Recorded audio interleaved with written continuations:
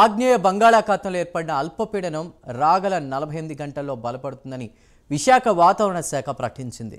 బలపడిన అల్పపీడనం పశ్చిమ వాయువ్య దిశగా పయనిస్తూ ఉత్తర తమిళనాడు దక్షిణ కోస్తా తీరాల వైపు కదిలే అవకాశం ఉందని తెలిపారు. దీంతో కొన్ని ప్రాంతాల్లో మోస్తరు నుండి భారీ వర్షాలు కురిసే అవకాశం ఉందని హెచ్చరిస్తున్న విశాఖ తుఫాను హెచ్చరికల కేంద్రం అధికారి కేవీఎస్ శ్రీనివాస్తో మా విశాఖ ప్రతినిధి DP Naidu face to face.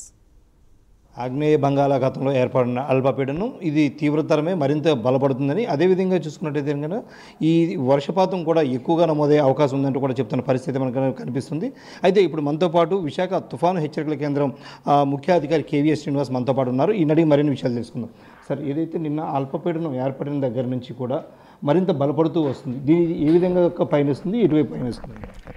ఇప్పుడైతే నిన్న ఏర్పడిన అల్పపీడనం అది ఈ రోజు ఉదయానికి తీవ్ర అల్పపీడనంగా అయితే మారింది. అలాగే ఇది ఇంటెన్సిటీ ఫర్దర్గా ఎక్కువ అయ్యే ఛాన్సెస్ కూడా నెక్స్ట్ ట్వంటీ ఫోర్ అవర్స్లో ఉంది.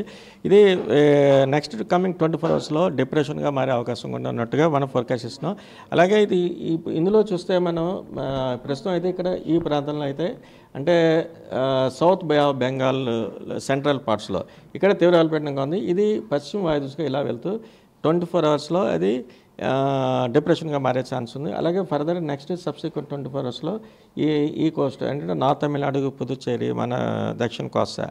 ఈ- ప్రాంతానికి ఇది చేరే అవకాశం ఉన్నట్టుగా మనం ఫోర్కాస్ట్ ఇస్తున్నాం అలాగే దీని ప్రభావం చేత ఇటు మన దీనికి దగ్గరలో ఉండే ఈ సిస్టమ్కి దగ్గరలో ఉన్నటువంటి నెల్లూరు ప్రకాశం జిల్లాలు అలాగే ఇటు రాయలసీమ ఉన్నటువంటి వైఎస్ఆర్ కానీ లేదా చిత్తూరు అనమయ్యమ్మ ఈ ఈ జిల్లాలు వీళ్ళందరికీ కూడా heavy to very heavy rainfall వచ్చేటువంటి ఛాన్స్ అయితే ఈ ప్రాంతాల్లో ఎక్కువగా అయితే మనం దీని ద్వారా మనం తెలుసుకోవచ్చు అలాగే నెక్స్ట్ ఇది రెయిన్ఫాల్ యాక్టివిటీ ఫర్దర్గా రేపటికి ఇంకా మరింతగా పెరిగి మరికొన్ని జిల్లాల్లో అయితే అంటే నెల్లూరు ప్రకాశం ఈ జిల్లాలకు అయితే ఎక్స్ట్రీమ్ హెవీ రెయిన్ఫాల్ కూడా వచ్చే అవకాశం ఉన్నట్టుగా మనం ఫోర్కాస్ట్ ఇస్తున్నాం మనం ప్రత్యేకించి చూసుకున్నట్టయితే ఇటు నెల్లూరు ఒంగోలు చిత్తూరుతో పాటు ఇటు ఉత్తరాంధ్ర కావచ్చు లేదంటే కోస్తాంధ్రకు సంబంధించి ఏమైనా వేరే ఇంకా రెడ్ అలర్ట్ కానీ లేదంటే ఆరెంజ్ అలర్ట్ ప్రకటించే అవకాశం ఉండొచ్చు?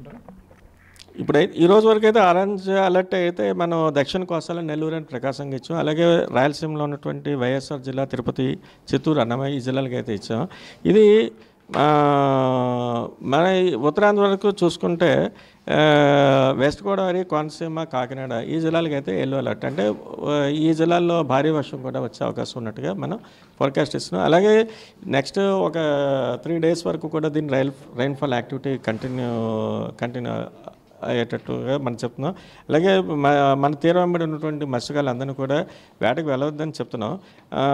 నెక్స్ట్ ఫ్లాష్ ఫ్లడ్ గైడెన్స్ కూడా మన ఐఎండి ద్వారా మనం ఇష్యూ చేసాం.